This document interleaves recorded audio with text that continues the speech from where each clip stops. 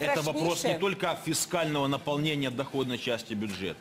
Это вопрос справедливости. Михаил, я отвечу на э, все конкретные вопросы, которые и э, испуги, которые были. Это, это звучит сейчас как признание того, что суды никогда не отберут эти деньги. Э, Пан Мы даем, можно? должны создать соответствующий правовой институт и механизм, который будет работать всегда.